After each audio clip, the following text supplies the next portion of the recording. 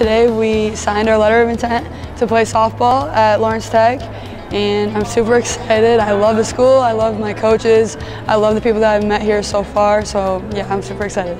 Today I signed with LTU. I committed to play softball here. I'm really excited. And then we came for a visit and I knew that the campus was fantastic. It was exactly what I was looking for. It was the right size.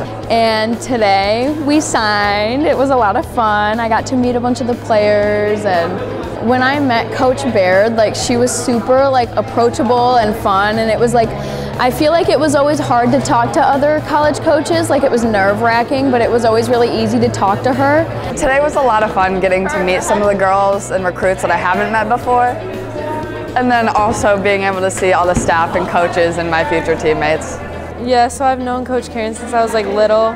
And the softball team, they seem, they're all like really fun and it seems really, yeah, good. Um, today was really cool. I got to sign and play the next four years at a competitive college. I'm really excited about that. I've known Coach Karen for a really long time. I've had her for like hitting lessons and stuff like that. So, and I met the team prior, a couple years prior. So I know they're all really like well tight knit. So that's just a part of like a community I want to be part of. Today it was a very fun experience to be able to sign on campus at Lawrence Tech to play softball. So I chose Lawrence Tech because I love the campus and I love the coaches and I've met the team and I just, I love the, everything about Lawrence Tech.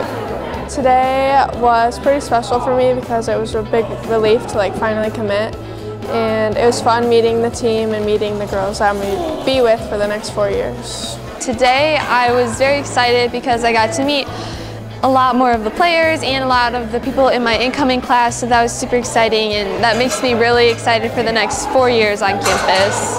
I really liked their um, engineering program because that's what I wanted to study and like the class sizes that they had and also like the program.